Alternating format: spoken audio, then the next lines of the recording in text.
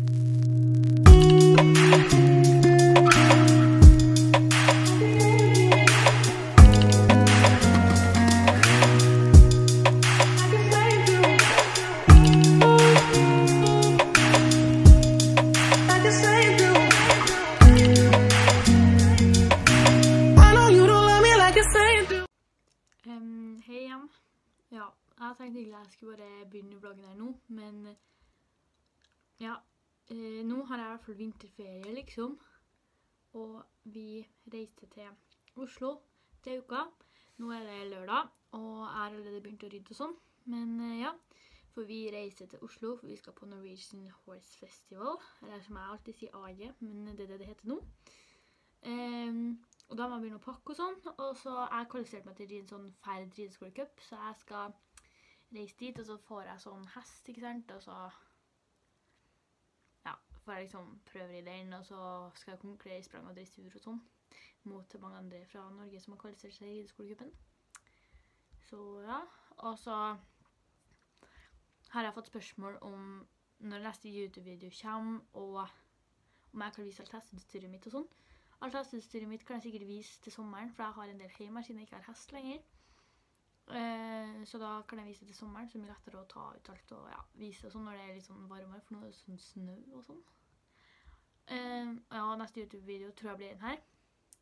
Så nå sitter jeg egentlig bare på rommet og har rydda og sånn, og så holder jeg på å begynne å legge frem ting jeg skal. Men vi reiser ikke på torsdag, men jeg skal jo ri en del av sånn i uka her, så jeg må begynne å legge frem ting som skal vaskes, så jeg skal ha med og diverse ting i tang. Så her er da utsikten fra rommet mitt. Eh, ja, sånn ser utsikt, ikke sant? Så nå driver jeg egentlig bare og har begynt å pakke litt. Ikke at rommet mitt er så fint akkurat nå, men sånn, ja. Så jeg har, ja. Jeg har lagt frem en PS-bukse, som var med til treningene og sånn. Og så har jeg to kvitte ridebukser, en fra Cavalier Toscana, og en fra Høgs, CRV. To stevnegensere fra Høgs, ja. Og så har jeg funnet fram sånne Kingsland-sokker som jeg skal ha med, og sokker fra Cavalier Canada. sånn. Og så har jeg med joggebukse som jeg kan ha når jeg går banen. Er på vranga nå, men eh, den er fra Kingsland, den også. Der. Så det blir praktisk. Sånn skal jeg ha med belte her fra PS. Ja, for det liker jeg. Sånn. Så skal jeg med strandjakka mi. Den er blå. Med sånne hesteting her. Sånn, den kjøper jeg sammen med sånne ja, litt sånn frastøtende stoff. Den er mørkeblå, men det skjer- viser ikke så godt på videoen. Og så vet jeg ikke om jeg skal ri med Charles Owen eller Sam Jern da, ennå. Men ja, den skal jeg i hvert fall ha med. Helt vanlig. Pulten min, ikke at den er ikke så fin min akkurat. Men altså skal jeg ha med en sånn herre Ja, og så skal jeg ha med en blå Cavalier Toscana bukse. Den er lagt til vask, så den er ren. Det skal bare være. Mm, og så av hesteutstyr tror jeg bare skal ha med free jumpsen min. For jeg gidder ikke ha sånn egen sjablakk og alt mulig, for jeg regner med at hestene der må nå ha det da. Um, og så ridestøvler og sporer, hjelm. Sånne ting må jeg ha med, og sikkerhetsvest da, kanskje. Kan være lurt. Så ja, det skal jeg ha med. Så jeg kanskje kommer til å prøve å filme litt fra uka her, det jeg gjør som hest. Og så skal jeg prøve å få noen til å filme meg, eller mamma eller noe sånt, da, på Norwegian Horse Festival. Så dere får se litt av det. Så ja, jeg håper denne vloggen her blir bra, fordi jeg er egentlig ikke så flink til å vlogge, men eh, det er litt sånn kjedelig å legge til samme hele tida, så da prøver vi noe annet. Ja, nå skal jeg da legge klubbjakka mi til vask, så den blir ren. Klubbjakka våre. det er vi medlem i Orta da, som dere ser. De er ganske enkle, de er fra Horse, klubblogoen vår. Og så, ja, så er det liksom det merket der fra Horse. Og så er det sånn regnkatt og sånn, og så har jeg navnet mitt her da. Så da skal jeg legge den til vask, så at skriften faktisk blir kvitt igjen. Den er sånn svart grå. Ja, nå er jeg i stallen. Det, var det, det er søndag i dag. Oi, det er sånn skitt på til. Ja, Og jeg har møkka sammen med Thea. Jeg skal ikke på YouTube. jo, det skal du. Ja, så vi har møkka åtte bokser og hadde en flis og sluppet hestene. Så nå spiser vi min kyllingsalat og lita gode Nom. Og vi skal etterpå da ri på tur, og jeg skal ri sana. For dere som ikke har skjønt det, så har ikke jeg sjasse på helt for lenge. Bare sånn til info, liksom. Yes, da har jeg henta inn hesten. Og Thea står baki der. Så da skal vi inn og sa på. Hei. Sånn. Kom da. Oi, det er litt glatt. ja. Kom da. Du ble med på vloggen her. Ja. Ok, nå skal vi Kom da. Nå skal vi inn med hestene. Og så skal vi ri på tur. Kom. ja Kaspian vil ikke være med. Han har tatt vinterferie. Han har det.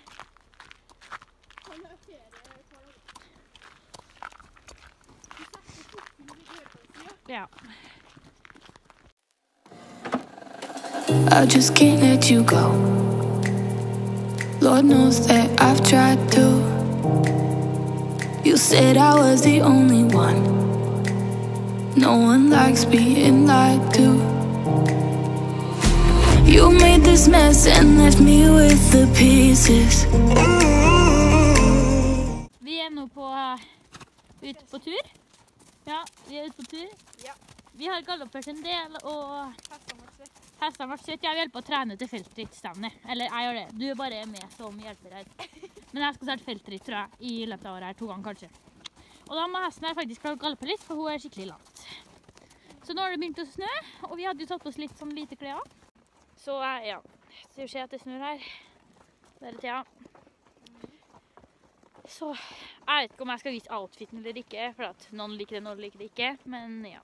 Vi gjør det når vi kommer hjem. Jeg kan vise outfiten når vi kommer hjem eller noe til Stålen. men eh, nå skal vi fortsette å ri på tur. Now I wanna burn all the bridges between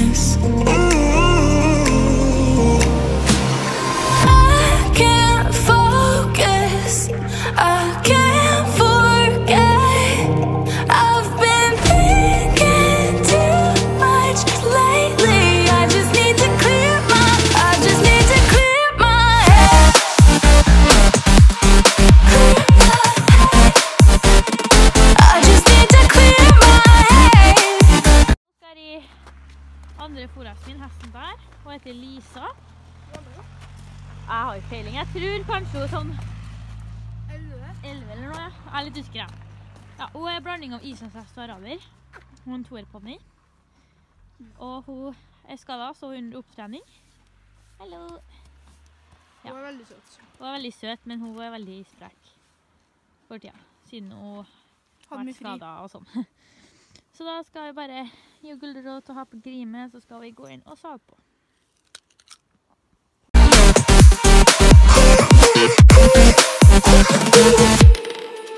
I've been stuck on your memory, but it's not like I need it.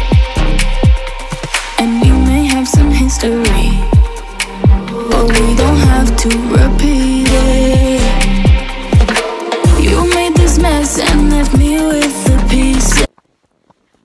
nå er jeg ute i Lisa. Jeg vet ikke om dere hører meg, men ja. Eh, jeg er veldig frossen, så nå har jeg på fem lag på overkroppen. Og det er egentlig bare null grader, så Ups. Ja, og så er jeg på hette, for jeg fryser på ørene.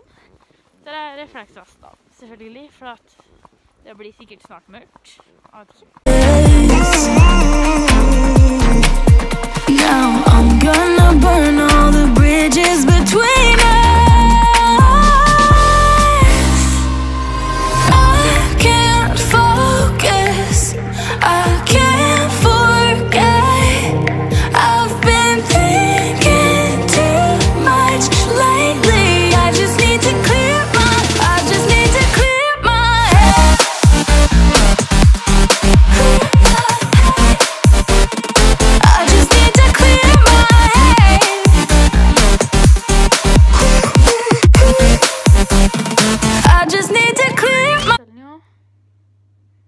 har begynt å møkke, egentlig. For i dag så skal jeg ri dressurtrening for Frøydis Bjerke.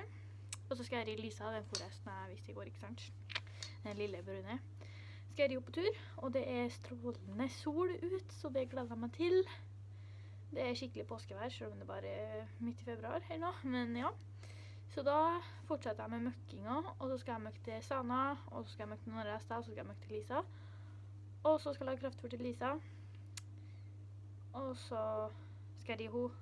Så skal jeg spise litt, ta inn Sanna og nå til trening. Jeg ri klokka seks, og nå er klokka halv to. Så da får jeg bare sette i gang og jobbe. I just can't let you go. Lord knows that I've tried to. You said I was the only one. No one likes being lied to. This and left me with the pieces. Da har jeg møkka Nei, sju bokser. Ja, jeg møkka sju, sju bokser nå, og så skal jeg gå og spise litt, så skal jeg ta en Lisa. Da er jeg ute på ridetur med Lisa, og klokka er litt over tre. Da er det fire, fem, ja, det er sånn cirka tre timer til jeg skal ri. Så da, eller ri neste rir Lisa nå, og så skal jeg ri en hest etterpå på timen. Så da skal jeg bare ri en liten time med Lisa, trave kanskje et time et kvarter. Så snakkes vi i stallen igjen. Da har jeg sala på Sana, for nå skal jeg ri for Frøydis. Så da skal vi gå ned i hallen, og så skal vi varme opp litt, og så starter vi timen, og vi skal ri i en helt klokketime for Frøydis. I just can't let you go. Hei Hoa. Oi, var litt sånn. Det er tirsdag. Jeg har vært i stallen en stund, siden klokka tolv, og nå er det sånn halv fire. Så jeg har møkka ti bokser. Jeg hjelper til litt å møkke for riddleren min og sånn, siden at det er vinterferie. Så jeg møkka ti bokser.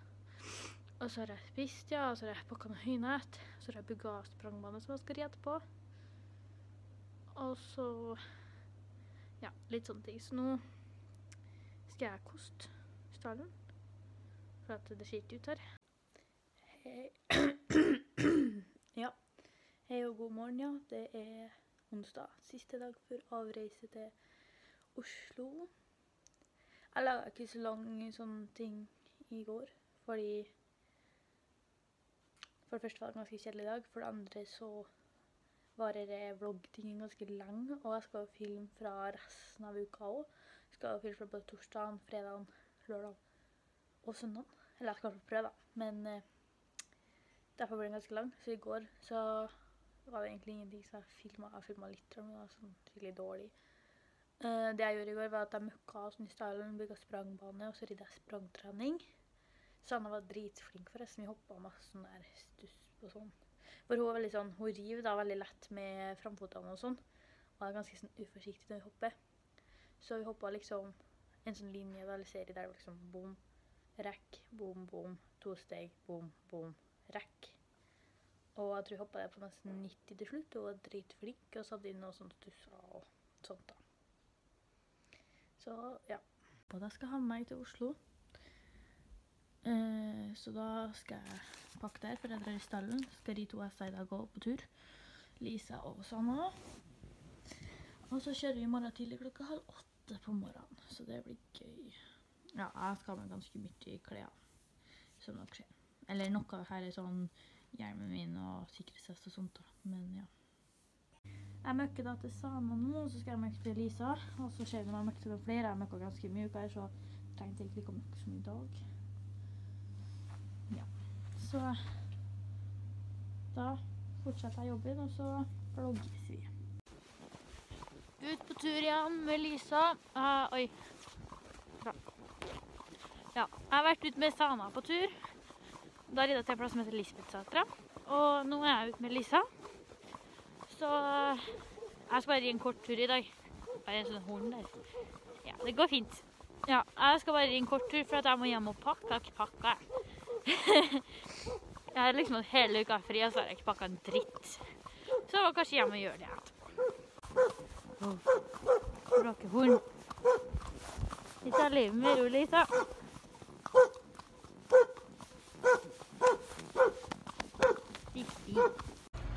Hei igjen. Eh, Jeg vet ikke om dere hører der er, for det er sånn vifteting her. Men eh, nå har jeg drevet og pussa og pakka sånn utstyr, på en måte. Oi, jeg får så mye snap her. Ja. Eh, og det er derfor jeg har på meg nå, fordi at jeg er hjemme, ja. Men jeg drev og pakka utstyr, så jeg bare tok det på meg, for jeg fikk lyst. det er jeg skal ha med til Oslo. Jeg har to, jeg har et sæbskilt også, men den her er finest, syns jeg. Eller den passer for jeg skal ha blå steinjakke, da, og den her er blå, den er svart, så ja. Akkurat nå så gjør jeg ingenting. Jeg orker egentlig ikke å pakke. Jeg er skikkelig sliten. så ja. Nå så sitter jeg på verksted, for jeg bor på sånn verksted ved siden av Eller jeg har ikke sagt det, men jeg bor på sånn verkstedting. Eh, så nå så sitter jeg oppi traktoren og kjører meg, fordi pappa drev og vaska bilen så vi skal kjøre i morgen. Det er bare jeg og mamma som skal ferdig, har vaska bilen. Og da så satte jeg meg i traktoren. Selv om jeg ikke kan kjøre traktor, så bare sitter jeg her, da. Så koser meg. Det er sånn Wonderbound, det lukter veldig godt her, da. Oh, hei. Så her sitter jeg nå. I hestklær og ridehjelm oppi en traktor. Så da må jeg bare gå og pakke ferdig det siste, og så må jeg sø før vi er ferdig i morgen.